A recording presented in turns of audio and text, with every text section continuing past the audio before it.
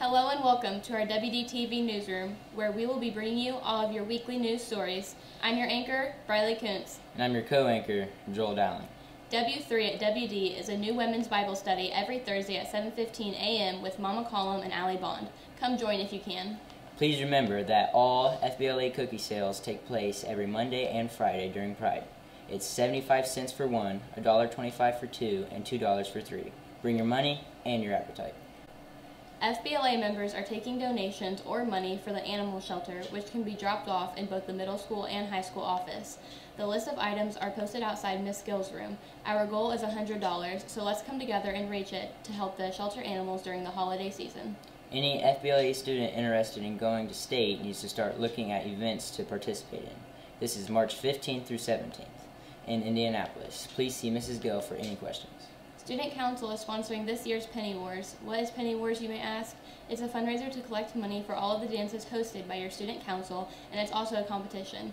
Four of the Warrior staff members are competing Ms. Clark, Ms. Baldwin, Mr. Romine, and Mr. Stafford.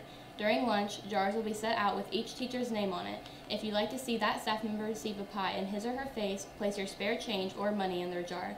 The staff member who has the most money in their jar by Friday will be pied in the face. If you'd like to be placed in the drawing to win the chance to pie one of these staff members, please see Miss Stanley. FCA is for all West Wes-Del students. Come on in to Mrs. Collins' room at 7.15 a.m. to sing, eat breakfast, and hear the best message you'll ever hear. And it is all for free. If you're running late, come on in. The only time there's no FCA is if school is canceled or delayed. The weight room is open for all students each Monday, Wednesday, and Friday from 3.15 to 4.15. If you are an athlete or just want to improve yourself, there is no better time to start, and it's free. Attention middle school students and staff. Beginning today and through Friday, look for 8th graders wearing reindeer ears and Santa hats come around during 7th period to middle school classrooms.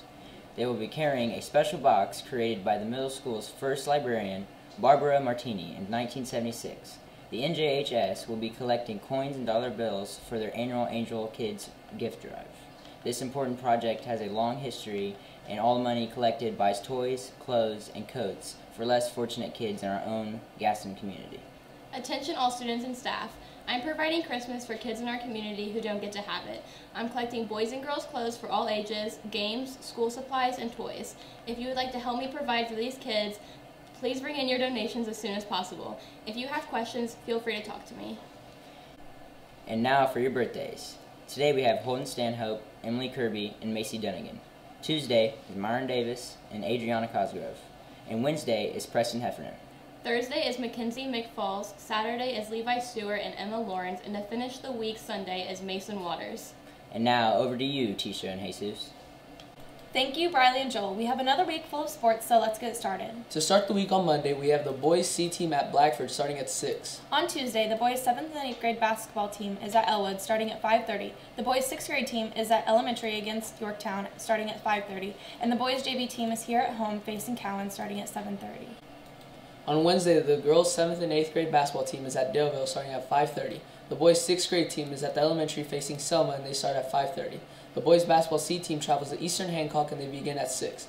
To finish the day, the varsity wrestling team is at Madison Grant starting at 6. On Thursday, the girls JV and varsity basketball team is at Eastern Hancock. JV begins at 6. The boys basketball C team is at Union City and they start at 6. On Friday, the boys JV team is here at home against Anderson Prep and they begin at 6.